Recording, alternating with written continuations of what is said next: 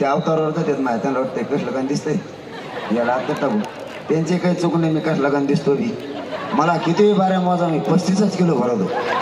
बऱ्याच वेळ गप्पा झाल्यावर त्याला वाटलं फुटलंय. एका काहीच म्हणलं उठी तू तो नाही जमायचं? मी तुमच्या बळावर तिला जीवाची बाजी लावतोय.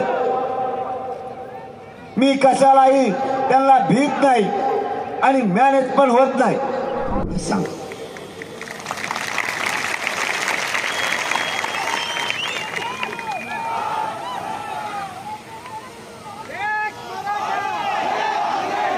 मंडल कमिशननं ज्या जाती ओबीसी आरक्षणामध्ये घातल्या होत्या त्या जातीची पोट जात म्हणून यांची जात एका रात्रीत आरक्षणात गेली. आणि सकाळी नोकऱ्याला सुद्धा लागली. मग मराठ्यांची पोट जात कुणबी होत नाही का?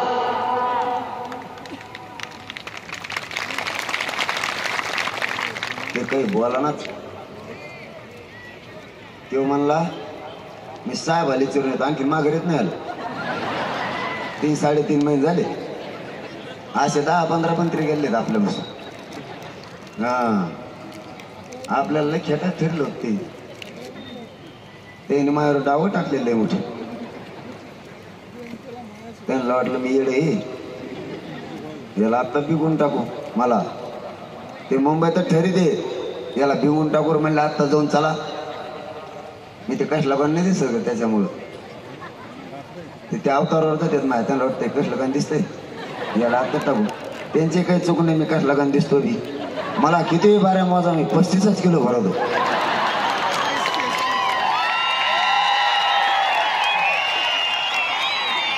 मी दिसतो बी बँडमध्ये खुळखुळे वाजवणार असलं जेव्हा आला माझ्याकडं बसला एक घंटाभर गप्पा मारल्या. मी बी हा हा हा केली त्याला वाटलं फुटला ना. एक घंटाभर शेंगा आणल्या त्यांनी मला. मी बी आणल्या त्याला बऱ्याच बऱ्याच वेळ गप्पा झाल्यावर त्याला वाटलं फुटलंय. एका काहीच म्हणलं उठी तू तो नाही जमायचं कारण हे आंदोलन सरकारशी संबंध मेंटेन करण्यासाठी उभं केलेलं नाही. माझ्या गोरगरीब मराठ्यांना न्याय देण्यासाठी आरक्षण उभा के आंदोलन उभा केलंय. मी मरेपर्यंत माझ्या समाजाची गद्दारी नाही करू शकत. सत्तर वर्षापासून मराठ्यांना आरक्षण होतं ते दिलं नाही.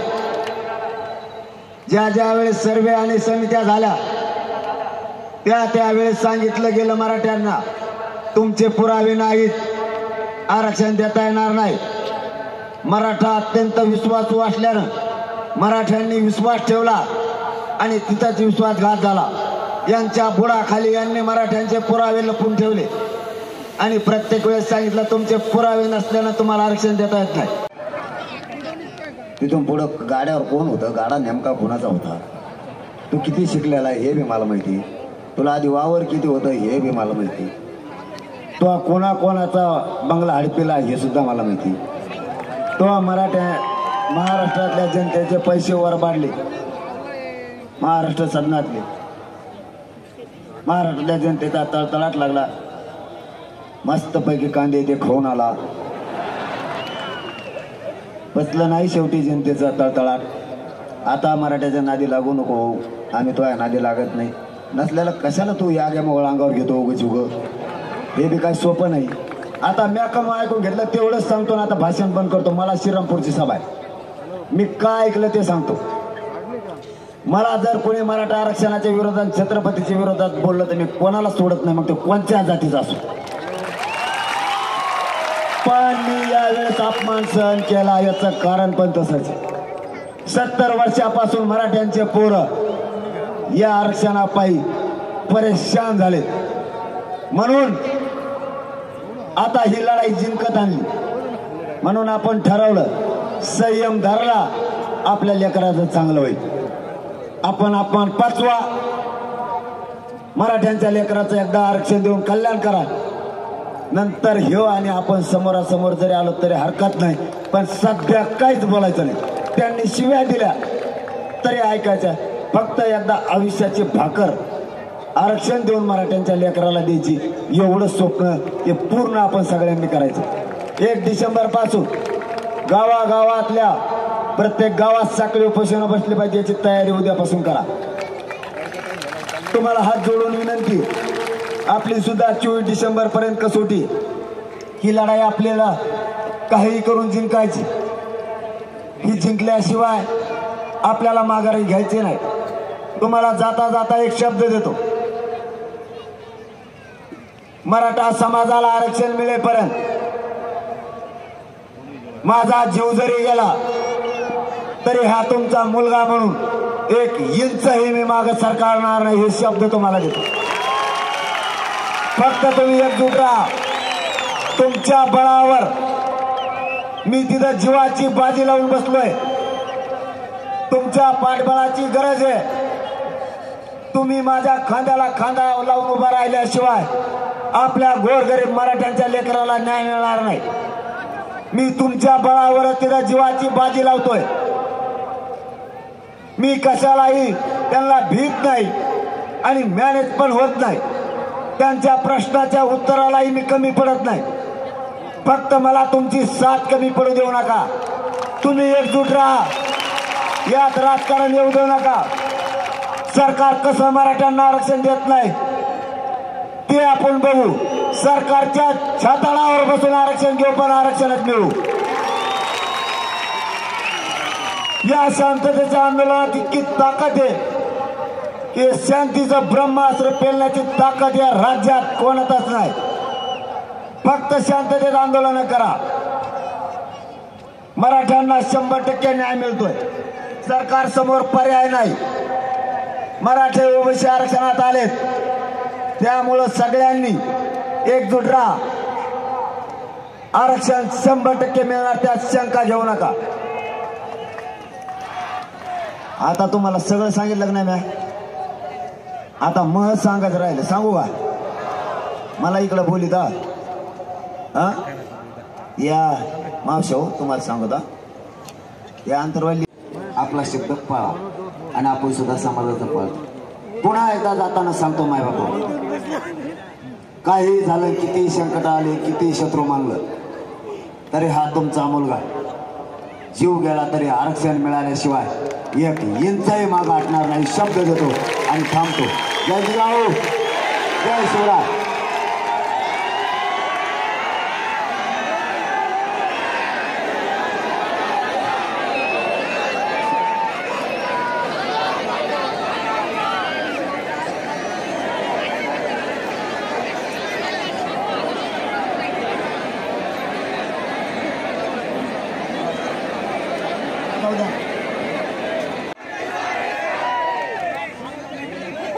तसे कसे साथ येत होतो मी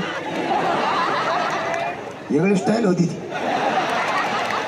नवीन स्टाईल बघितली माहिती आता होत नाही बघितली नऊ वाजले काय? नऊच्या पुढं मी कोणाच्या हातात हात सुद्धा देत नाही भाऊ त्याने जर हातात हात घातला तर तो सोडितच नाही. पंधरा फोटो काढित तरी सोडित नाही. त्याला मला सोडते थांब ना मग. पायावर पाय मायात देतो फोटो काढितो. मी जर म्हणणार माझे पाय सुले पाय काढ. थांब ना मग थोडा टाइम दोन तर काढून दे ना. व्यसनच वाडा रे. तुमच्या पाय पडून सांगतो. पाहुणे रावळे मित्र सगळे नाव ठेवायला लागले आपल्याला.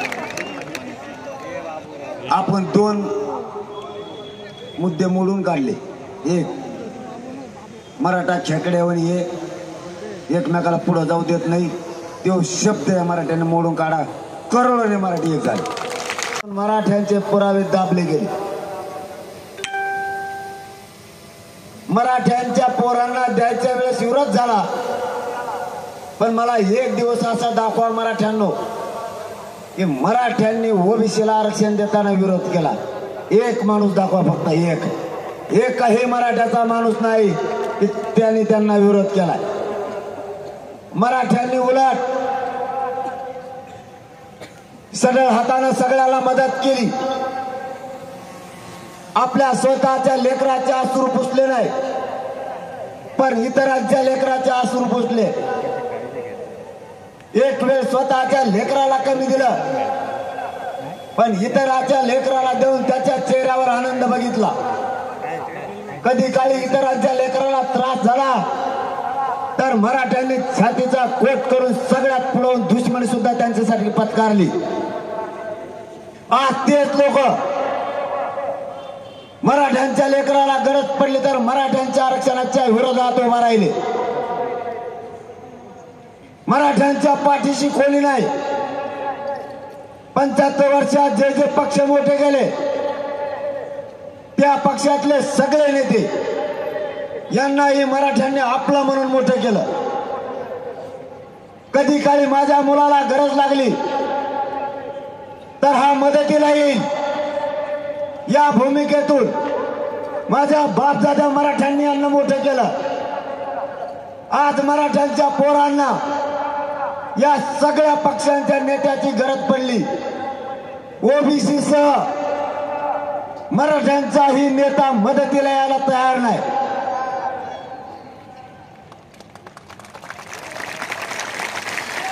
जर मागं वळून बघितलं मराठ्यांच्या पाठीशी कोणीच उभं नाही. आणि पुढे वळून बघितलं तर ज्याला मदत केली तेच आपल्यासमोर उभा राहिला की मी तुम्हाला आरक्षण मिळू देणार. नाही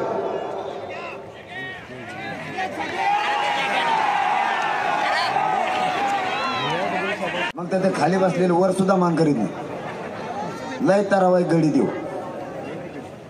जर सोडली तर बरं होईल.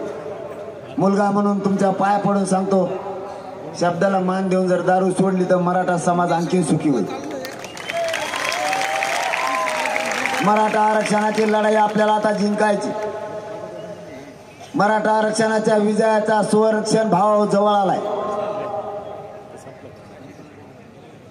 आपल्याला आपल्या डोळ्यानं हा विजय बघायचा सत्तर वर्षापासून पोरं या आरक्षणासाठी तरसलेत.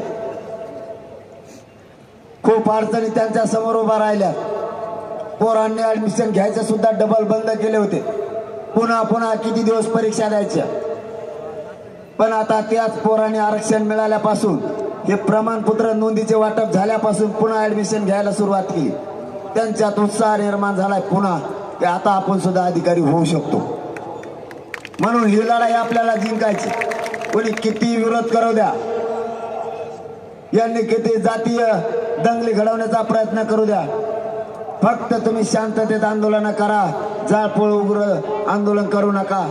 सरकार कसं आरक्षण देत नाही ते आपण बघू. तुम्ही त्याची काळजी करू नका. फक्त शांततेत करा. मराठ्यांच्या पोराने आत्महत्या करू नका. आरक्षण असलेल्या मराठ्यांनी आणि आरक्षण नसलेल्या मराठ्यांनी दोघांनी आता एकत्र या. जातीला चारी बाजूला घेरलंय.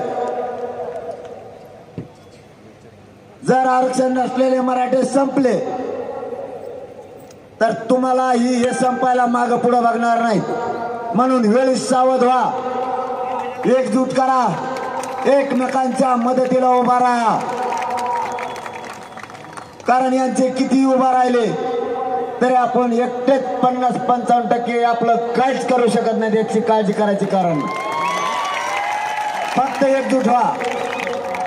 त्यांनी एकजूट केली बरं का? पण मुंबई पोहोचोस तरच चार जण त्यातले माग बदलले. ते म्हणले याचं आमचं जमायचं नाही. आम्हाला हे बोलील होतं म्हणून आम्ही गेलतो.